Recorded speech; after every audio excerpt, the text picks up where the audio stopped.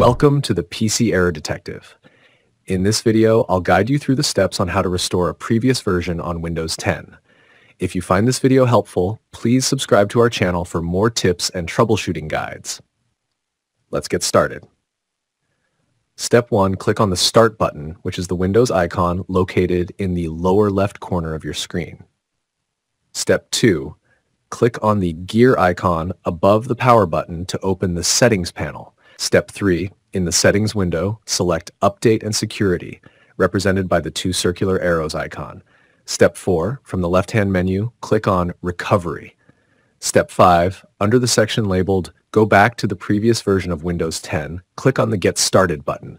Step 6, follow the prompts on the screen. Windows will ask why you want to roll back. Select your reason and click Next. Step 7, continue clicking Next to confirm your choices. The system will begin the process of restoring the previous version of Windows 10. Important note, before proceeding, ensure that your important data is backed up to an external drive, as some software or settings may be affected during the process. And that's it. Thanks for watching.